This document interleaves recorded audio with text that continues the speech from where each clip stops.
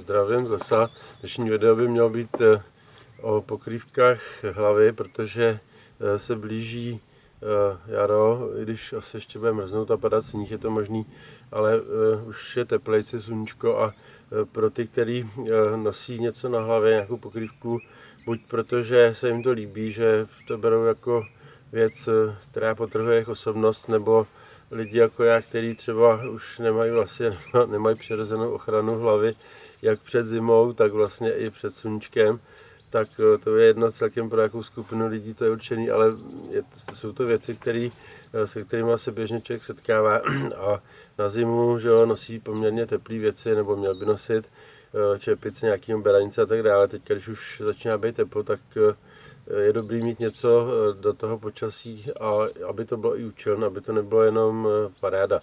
Nosil jsem, nebo nosím někdy šátky, eh, dobrá věc proti sluníčku, eh, ale já docela jsem vždycky trpěl na klobouky a pořídil jsem si eh, tady ten klobouk australský od firmy Skippies, nevím, si bude vidět to logo, protože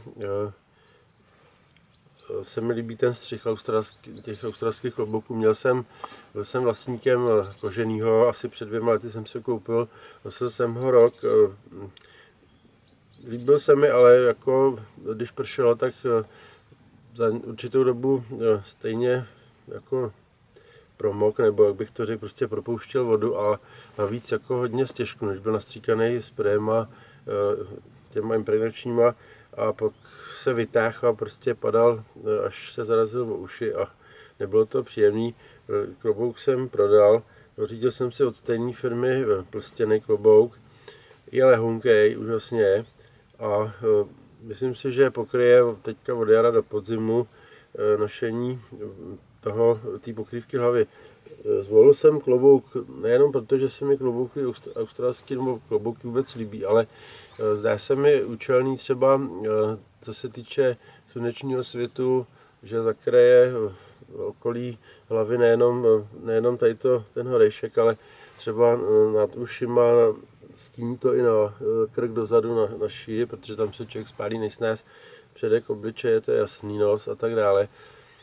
Je to dobrý, když třeba fotím nebo když natáčím něco na kameru, že mi to zastíní. Eh, proti dešti ochrana eh, nic moc, ale zase v letě se dá přečkat nebo v, teple, v teplém počasí se dá přečkat nějaká ta, ta voda, není to zase úplně tragédie.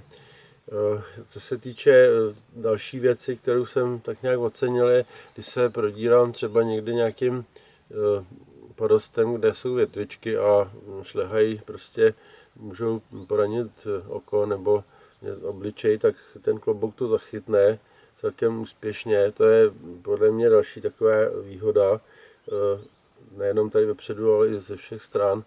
A já si tak to, k těm výhodám toho klobouku, proč jsem si ho pořídil, eh, dalo by se za tím nosit nějaký zárasácký odznaky, co se týče, co se týká nějakých eh, peří, brků a tak dále, něco doma mám, ale asi bych to byl v dost devastovaném stavu. Je to poměrně, jak jsem říkal, lehonký, dá se to i prostě složit, nedělá to žádný, žádný problémy a eh, stojí to, ta firma, která to dováží, to prodává za asi zhruba za tisíc korun, něco má přes tisíc korun, má úžasný výběr, já do toho popisku to vydám asi na ní odkaz, protože si to zasluhují, dělají e, spoustu věcí, ještě tady ukážu další věc, kterou vyrábí, ale co k těm kloboukům dělají kožený austráky, praví, e, nebo dováží teda, ne, je to dělaný v Austrálii, dělají, e, dováží tady ty plstěný, ještě různé tvary a barvy jiný. A myslím, že i nějaký ty stécny, ty americký, takže to je klobouk od firmy Skippies. Skippies jsou klokani, já nevím, jak to zkusím přiblížit, ale jak tam nesvítí sluníčko, asi to nebude moc vidět, ta firma. A e, od té samé firmy tady mám ještě jednu pokrývku hlavy a sice tady tu čepici. Je to taková ta e, jakoby e, tvar, co nosili třeba, když byla válka severu proti jihu, nevím čemu jinému to připodobnit, taková spíš jako vojenská než baseballka tvarem. Eh, ten materiál je eh, oilskin, tomu říkají, říká se tomu, eh, jakoby, má to vypadat jako kůže. Je to bavlna, polyester, napuštěná nějakým způsobem jestli to je jaký mastný, to se nedá vyloženě říct. Vydrží to o něco díl než ten klobouk, co se týče vody, ale nakonec to promokne stejně. Tady se dá nosit potom přesto třeba kapuce, když je pončo nebo tak, u toho klobouku ne, ale tady, když dáte kapucu, tak vám kouká na ten štítek. Eh, zase výhoda toho štítku proti světu slunečnímu, proti těm větvičkám. A takové dvě věci, které jsou malinký nedostatky eh, na tom, nebo nedostatky. Prostě nemá to, nemá to odvětrání. Ani ta čepice nemá žádný otvory, ani ten klobouk nemá žádný otvory. Je to takový uhlazený sice, ale uh, nevím, čepici už jsem měl, když bylo teplo, docela se v tom zapotila hlava.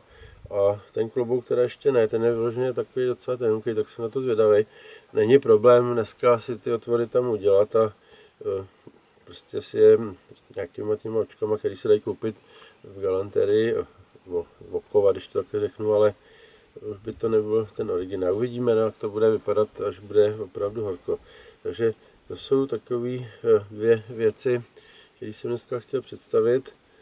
Eh, věci, které eh, ocení hlavně lidi, jak jsem říkal na začátku, který mají ten handicap, je to handicap, že nemají přirozenou pokrývku hlavy, která by ochránila před zimou a nebo před sluněčníma poprskama, protože hlava bez vlasů je pochopitelně eh, na to připálit si čečuli někde a nemusí to být zrovna v srpnu, stalo se mi to už v květnu, takže dvě věci, australské výrobky, klobouk se dá pořídit, jak říkám, okolo tisíce, něco má přes tisíc korun, ale myslím, že měli i po tisíc, ale uh, ta čepice asi za 700 říkám ty ceny, protože se mi občas lidi ptají na těch videích potom, eh, proč neříkáš, kolik to stojí, takže tak činím. Firmu se pokusím dát do toho popisku toho videa, protože si to zaslouží, protože s ním mám opravdu výborné zkušenosti.